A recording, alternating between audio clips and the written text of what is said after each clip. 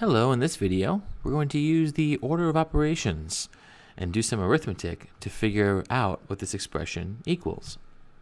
So, when we're dealing with a, an expression like this, and we see these parentheses here, the first thing we're going to do is subtract what's inside these parentheses. I'm going to start with 8 minus 2. I know that's 6. Over here, 2 minus 7, well, let me think about that. I know that 7 minus 2 is 5. And I also know if I change the order to 2 minus 7, I change the sign of the difference. So instead of a 5, by switching the order, right, from 7 to 2 to 2 minus 7, I switch the sign to negative, and this time we still get 5. A fancy way of saying this is that by switching the order, we get a number with the same absolute value, in other words, a number with the same distance from 0, but the opposite sign.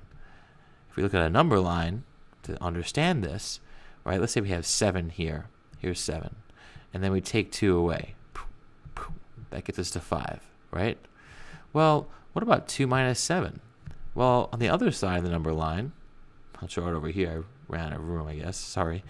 Uh, 4, 3, 2. There's 2. So I'll put it down here. Sorry. And then we take 7 away.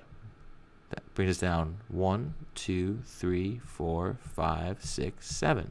That's 1, 0, negative 1, negative 2, negative 3, negative 4, negative 5.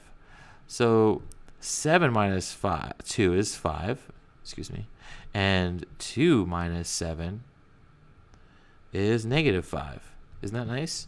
What does that mean? Well, I know that positive 5 is 5 away from 0. So the absolute value of 5 is 5. I also know that negative 5 is 5 hops from 0. So we say the absolute value of negative 5 is also 5. And you would write it like this. The absolute value of negative 5 is 5. And the absolute value of 5 is 5. Right? Absolute value tells you how far a number is from 0. So when you change the order of the, the numbers you're subtracting, you get a number that is the same has the same absolute value but the opposite sign.